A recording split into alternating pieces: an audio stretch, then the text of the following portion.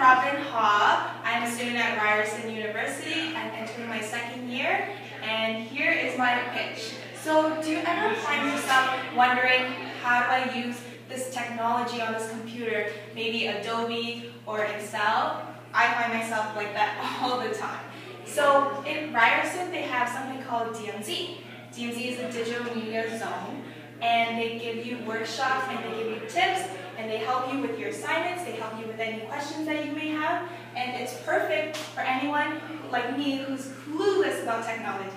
So you walk in knowing nothing, you come out being the most confident person you can ever be, being the person who entered this technology world with no clue at all, and coming out with some knowledge to tell others. And.